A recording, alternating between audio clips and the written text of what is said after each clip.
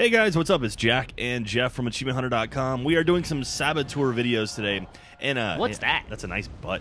Hey, so we're doing uh, this is called White Dots. This isn't actually an achievement video, but uh, in lieu of making maps for Saboteur, which I probably would kill myself, I'm going to show you how to do this. So find a guy who sells stuff on the black market, the dudes with the guns over their head.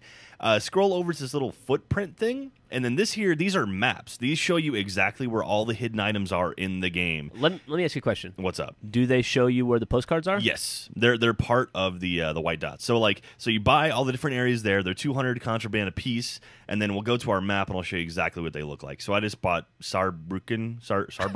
That's an excellent pronunciation. That's where the racetrack is, right? Yeah. So you can see all those little white dots. Every single one of those is one of the uh, like the free play things, including the postcards. So um, every time you destroy one of these, you get some more uh, contraband. And God, look at look at that. That's Paris Area One.